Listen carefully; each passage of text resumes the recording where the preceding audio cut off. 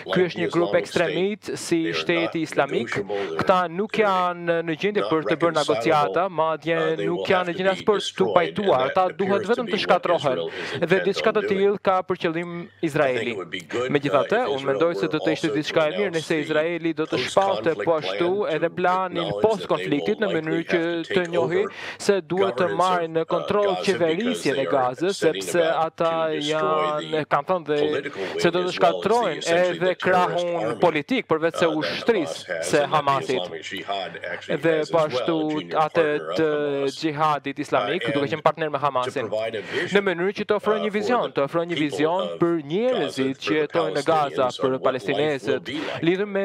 mënyrën si do të jetë jeta më pas,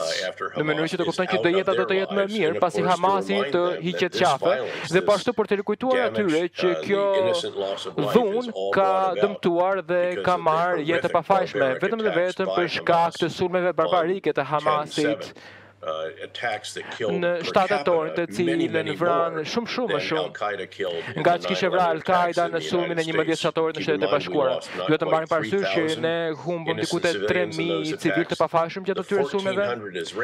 dhe 1.400 Izraeli duke marrë parasysh popullsinë që ka Izraeli rreth 9 milion Do i binte që ne të kishim humbur 15.000 civilë, dhe kjo është arsyeja pse ka ndërmarrë një sulm të tillë. Uh, Mendoj po ashtu që do të ishte diçka e zgjuar të uh, shpallin një lloj plani për këtë periudhë pas konflikti, kur të mbarojë konflikti, kur të jetë shkatërruar Hamasi. Për restaurimin e shërbimeve, për ofrimin e ndihmës humanitare, për rindërtimin e uh, infrastrukturës dhe më të tjera.